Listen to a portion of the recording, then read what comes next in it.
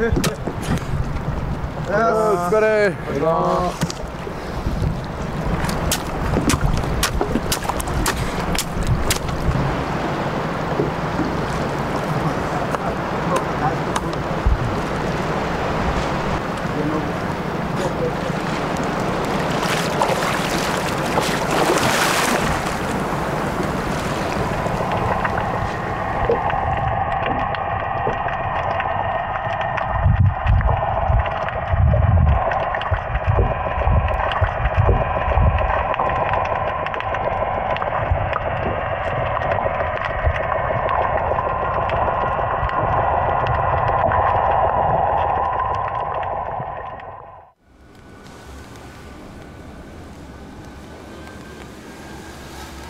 な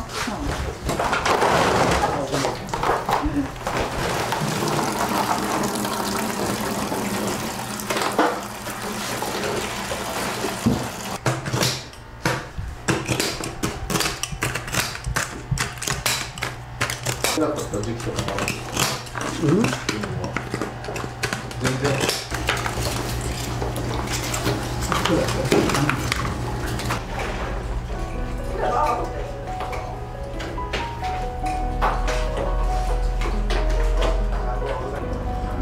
まあ、来た時これは仲間と一緒にこうしてすることかな、うん、それは楽しい。話しながら。みんな手が震えてるんだよ。真似をしやったカジラは美味しいですねやっぱり。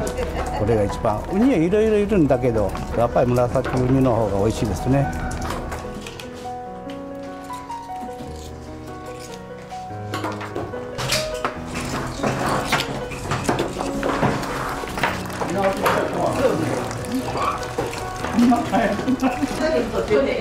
で、お店であのほらウニ丼とか提供したりとか。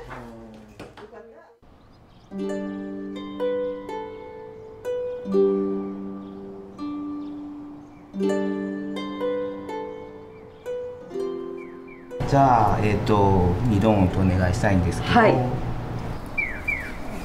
お待たせしました。こ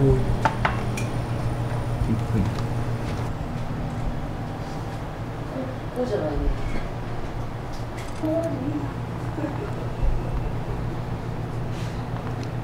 誰かと読ままずはそのまま食べて、プリプリで美味しいですね。ちょっと、なんていうんですかね、甘みもあってって感じです。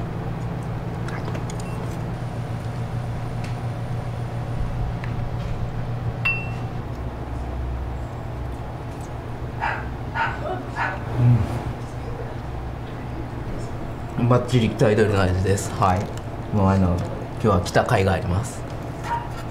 とっても美味しいです。